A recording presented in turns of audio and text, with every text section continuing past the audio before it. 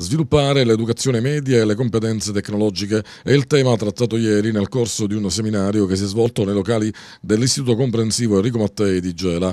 Davanti ad un pubblico attento ha relazionato il sociologo Francesco Pira, docente di comunicazione all'Università degli Studi di Messina, che ha coordinato sul tema numerose ricerche e firmato diverse pubblicazioni. Da una parte ci sono ragazzi sempre più connessi e che fanno in rete qualunque cosa, stiamo parlando dei preadolescenti, ma eh, soprattutto ci sono genitori totalmente inconsapevoli di quello che i loro figli fanno in rete. E cosa bisogna fare in questo caso? Il genitore cosa deve fare? Ma deve avere consapevolezza. I due maggiori pericoli sono sicuramente la pedopornografia e quindi il sexting, eh, abbinato diciamo, al sexting e al cyberbullismo. Sono eh, due forme di violenza molto pericolosa che i genitori in qualche modo devono intercettare in collaborazione anche con la scuola. Soprattutto. Sì, sì, la scuola è fondamentale anche perché è un terminale, abbiamo visto anche dalle indagini e dai dati, a cui i ragazzi si affidano anche dopo aver parlato ai genitori.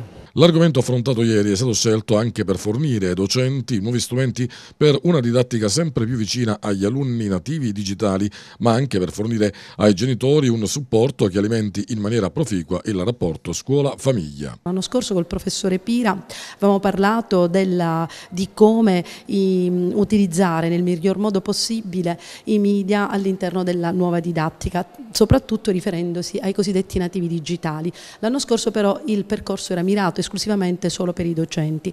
Quest'anno abbiamo deciso di allargare anche alla presenza dei genitori, però intervenendo sotto un altro aspetto, cioè quanta responsabilità hanno i genitori. I genitori sono consapevoli di come i loro figli usano gli strumenti, i figli spesso ne sanno molto di più di noi che siamo, non siamo assolutamente nativi digitali, però spesso sfuggono al controllo dei genitori. Allora interrogarsi sempre più vale la pena, soprattutto perché davvero quello che leggiamo dalle cronache spesso ci sorprende, ci sembra inaudito e magari può accadere dietro l'angolo.